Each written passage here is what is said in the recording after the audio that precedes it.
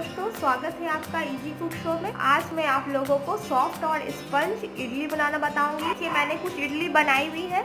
देखिए, कितना स्पंजी है। दोनों तरफ़ से अच्छी तरीके से कुक हो गया है।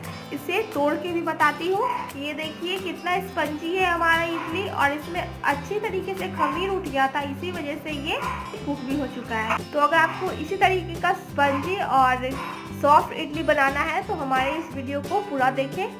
चलिए बिना देरी किए इस रेसिपी की शुरुआत करते हैं। इडली में सबसे इम्पोर्टेंट होता है उसका बैटर बनाना। कि आप किस तरीके का बैटर बना रहे हो? बैटर बनाने के लिए यहाँ मैंने लिया है चार कप चावल, जो कि मैंने छोटे वाले चावल लिए हैं। तो यहाँ मैंने चार कप चावल लिया है और एक कप उड़द का दाल लिया है। उसके बाद हम क्या करेंगे? दोनों को चावल और उड़द दाल को चार घंटे के लिए भिगोकर छोड़ देंगे और उसके बाद जब चावल और दाल हमारा फूल जाए, फिर हम एक उसका पेस्ट तैयार कर लेंगे, जो कि मैंने पहले से करके रखा है। देखिए, यहाँ पे मैंने थोड़ा गहरा पेस्ट बनाया है अभी, और ये काफ़ी स्मूथ है। आपको जरा सा भी दरदरा पेस्ट नहीं बनाना है, आपको महीन पेस्ट बनाना है। तो इसमें अब हम डालेंगे नमक हाफ़ टी स्पून चुटकी भर बेकिंग सोडा हम ये इसलिए डालते हैं ताकि हमारा इडली का जो बैटर है, उसका खमीर अच्छे से उठे। अभी हमारा पेस्ट यहाँ पे गाढ़ा है तो इसमें हम ऐड करेंगे पानी।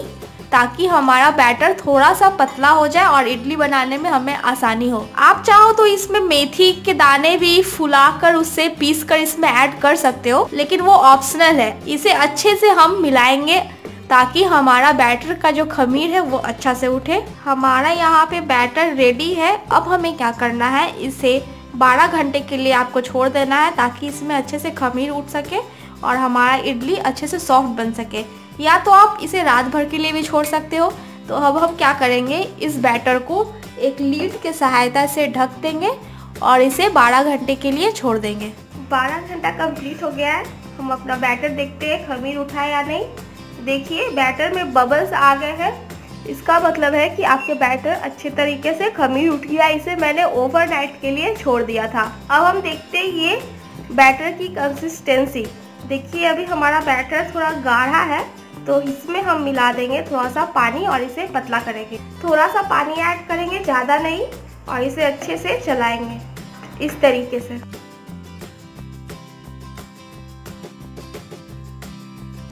आप चाहो तो इसी बैटर से आप डोसा भी बना सकते हो। बस डोसे के लिए थोड़ी सी बैटर और पतली होनी चाहिए, और हमारे इडली के लिए थोड़ा सा बैटर गाढ़ा होता है। मैंने यहाँ पे इडली स्टैंड लिया है। सबसे पहले इस सारे स्टैंड में वायल से ग्रीच कर लेंगे।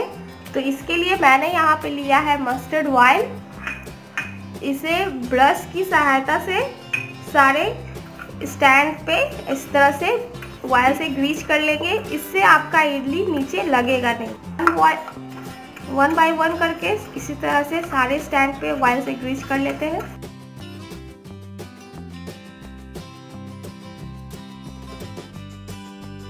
मैंने यहाँ पे मस्टर्ड ऑयल लिया है। आप चाहो तो रिफाइन ऑयल या फिर बटर का भी यूज़ कर सकते हैं। ये देखिए, मैंने एक में अच्छी तरह से लगा दिया अब हम बाकी में भी इसी तरह से लगा देंगे देखिए, मैंने सारे स्टैंड में इसी तरह से तेल लगा दिया है। अब हम क्या करेंगे? एक एक करके इसमें बैटर भरेंगे और इडली मेकर में डाल हमें एक एक स्पून ही इसमें भरना है। बड़े वाले स्पून से ज़्यादा नहीं भरना है, क्योंकि ये हमारा इडली बाद में पक जाएगा तो ये थोड़ा सा स्पंजी होगा और ऊपर की ओर आएगा। देखिए, इस तरीके से मैंने भरा है। अब इसी तरीके से बाकी सभी को भर देंगे।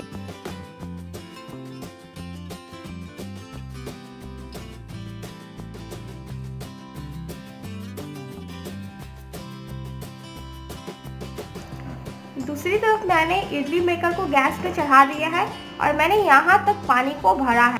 देखिए, हमारा पानी भी अच्छी तरीके से स्टीम हो चुका है।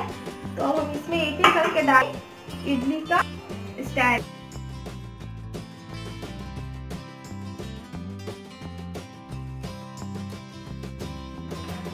इस तरीके से मैंने सारे स्टैंड्स को लगा दिया है और इसे अब इसकी ढक्कन की सहायता से ढक देंगे। गैस के आँच को मीडियम रखना है और इसे 10 मिनट तक कुक होने तो हमारा यहाँ पे 20 मिनट कंप्लीट हो गया है। अब हम चेक करते हैं कि हमारा इडली अच्छे तरीके से पका है या नहीं। ये देखिए, हमारी इडली अच्छे तरीके से पफ हो गई है और ऊपर की ओर आ गई। इसका मतलब है कि हमारी इडली अच्छी तरीके से कुक हो गई है।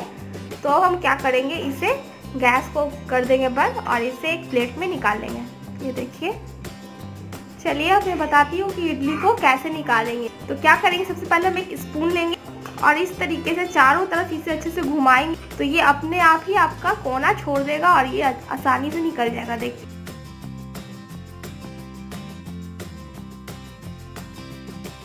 देखिए, हमारी इडली कितनी स्पंजी है और ये पीछे और आगे दोनों तरफ़ से अच्छी तरीके से कुक हो गई है।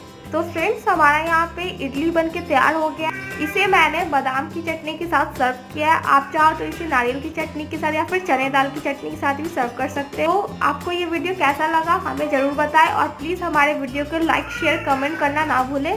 तो आपसे फिर मुलाकात होगी अगले वीडियो में। तब तक के लिए धन्यवाद।